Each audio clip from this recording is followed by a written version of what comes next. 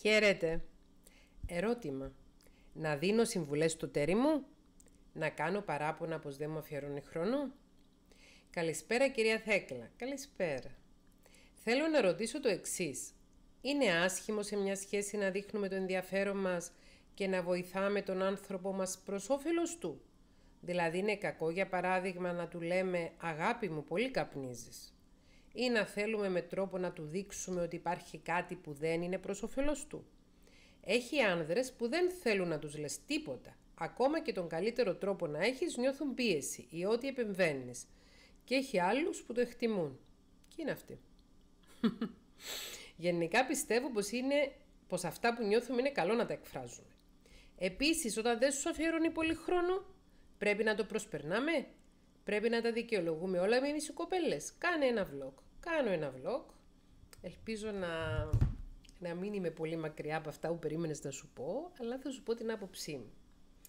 Καταρχάς, ακόμη και ο τρόπος με τον οποίο το γράφεις, το, το ερώτημα σου, που λες να τους λέμε, να τους λέμε κάτι, ε, να δείχνουν το ενδιαφέρον μας και να βοηθάμε τον άνθρωπό μας προς όφελός του. Θέλω να σε ενημερώσω ότι δεν είσαι η μαμά του φίλου σου.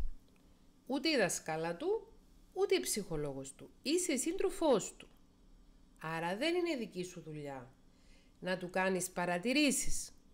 Δεν είναι μαθητής σου και να είσαι δασκάλα του.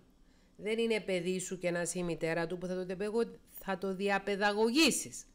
Είσαι σύντροφος του. Δεν είναι ο ρόλος σου να κάνεις παρατηρήσεις. Παρόλο που πάρα πολλές γυναίκες κάνουν συνεχώς παρατηρήσεις στους συντρόφους τους. Και οι σύντροφοι τους φυσικά νιώθουν εξαιρετικά πιεσμένοι, δεν το αντέχουν αυτό το πράγμα και αγανακτούν.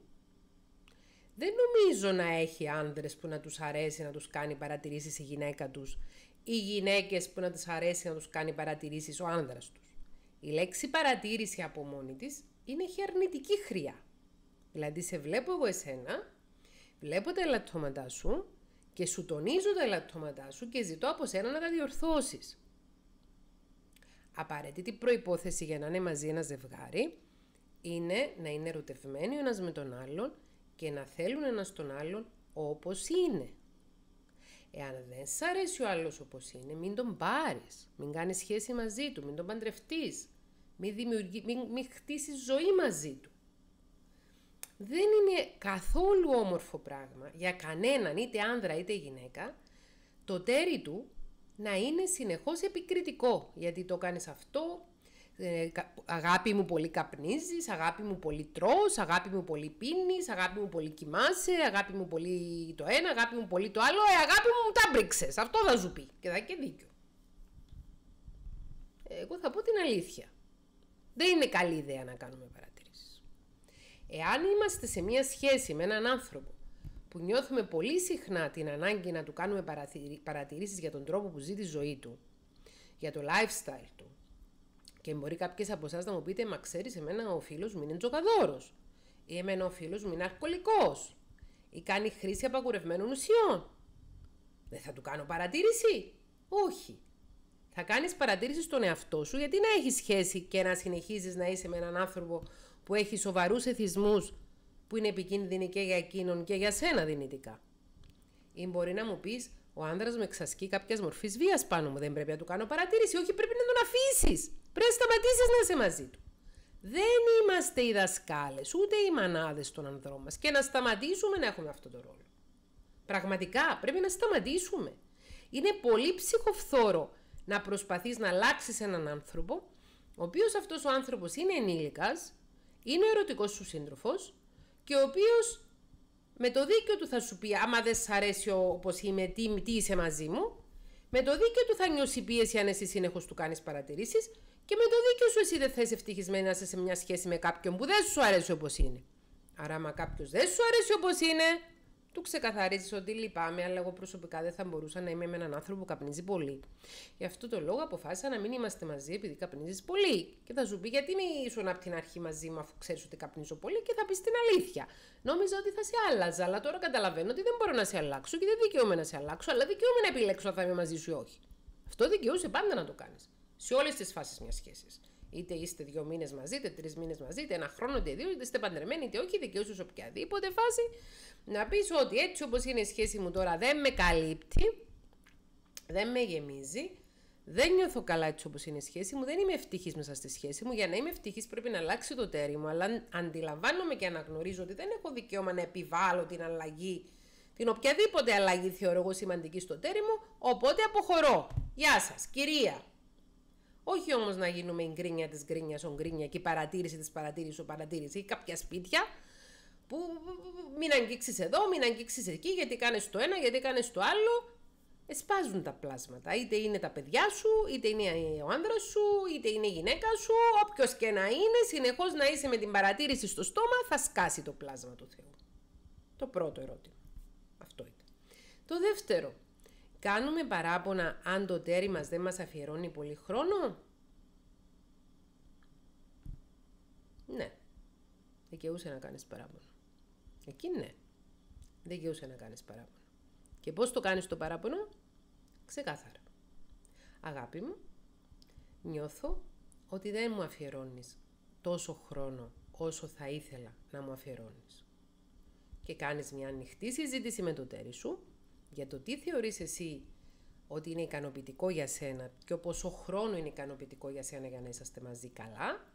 Σου εξηγεί και το τέρι σου πώς το βλέπει το ζήτημα και μέσα από αυτή τη συζήτηση θα διαφανεί και το πώς είναι η σχέση σας και τι πραγματικά συμβαίνει.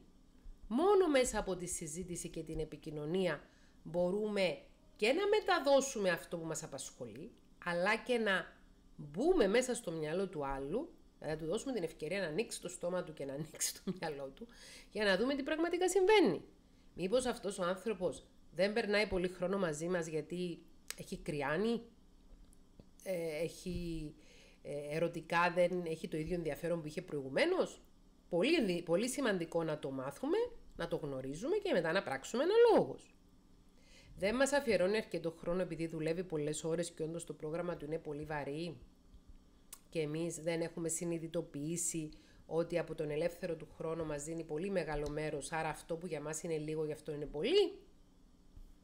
Μήπως εμείς είμαστε ανασφαλή πρόσωπα και δυσκολευόμαστε να έχουμε τη δικιά μας ζωή και προσκολόμαστε, έχουμε μια προσκόλληση πάνω στο σύντροφό μας. Προσκολούμαστε, πώς είναι το ερήμα.